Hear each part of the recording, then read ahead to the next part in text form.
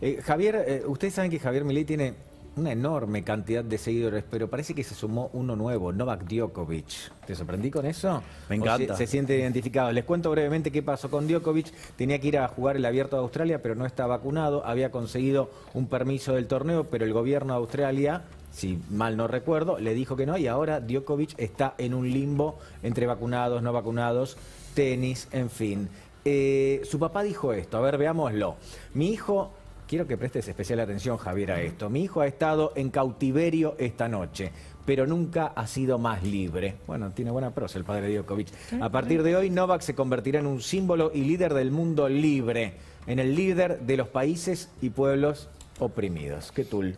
Buenísimo, digamos, está del nuestro lado. Así que, que, digamos, podemos hacer una convención donde se junte Trump, Cast, digamos, Vox, ¿Vos considerás que no hay que y- vacunarse, y, que no es obligatorio, que no debe ser Es que no obligatorio? tiene que ser obligatorio.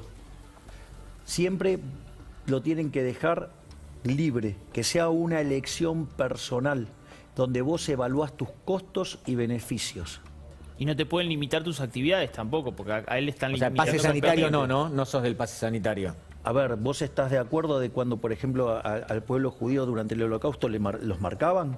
O sabés que había distintas marcas que tenían, ¿no? Digo, para que la gente lo sepa, Pero no es a una la comparación un poco fuerte, Javier. Ay, ¿acaso no te están marcando de alguna manera? Sí, igual yo No, evitaría no, esa comparación. Evitaría. No, no, yo lo, lo que digo es, pero ¿cómo arrancó ese proceso? Arrancó con estos permisos, ¿eh?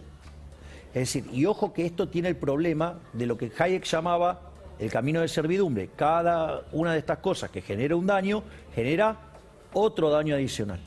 O sea, y se van escalando. Sí, pero es importante, Javier, no, no, no comparar, digamos, todo lo que tiene que ver con el holocausto con cuestiones. Pero es que así es como, no, no, está- no, digamos, o sea, no estoy haciendo, digamos, una comparación ligera. Lo que estoy diciendo es, ojo con la metodología. Es decir, es más, los invito a, a- a visitar el, el Museo del Holocausto acá en la Ciudad Autónoma de Buenos Aires, que es uno de los tres mejores del mundo. Sí, sí, me Sí, consta. pero fue una tragedia tan grande que van No, a no, no, no, está bien. banalizarlo. No, no, lo que no, no lo bueno. estoy no, no lo estoy banalizando y yo tengo bien claro que Argentina además es uno de los 50 países que firmó el IRJA, cosa que muchos periodistas no la tienen claro, que van acusando de nazis a quien anda dando vuelta por la calle y que no opinan como ellos. O sea, todo ojo con ahí porque digo, o sea, de hecho tengo cinco juicios ahí contra gente que hace eso. O sea, yo sí sé bien de lo que estoy hablando. Entonces, a lo que estoy haciendo referencia es, vos no podés estar haciendo este tipo de cosas. O sea, estas cosas nunca terminan bien. Es decir, estos son perfiles autoritarios. Entonces, que sea una cuestión de decisión renta-riesgo de cada uno de los individuos. Y no solo eso, porque hay otra cosa que es muy importante. La ciudad, digo, si vos querés el mundo anarcocapitalista, ¿cómo funciona? Funciona por un sistema de seguros.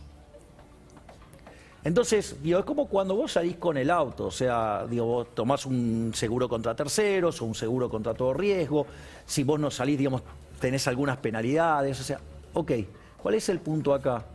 ¿Sabes qué? Que el, el seguro nosotros ya los pagamos, lo pagamos con los impuestos porque a nosotros nos cobran obligadamente los impuestos para financiar, entre otras cosas, el sistema de salud. Por lo tanto, es como que yo te hubiera vendido un seguro y cuando viene el siniestro te digo, ah, no, bueno, ahora no.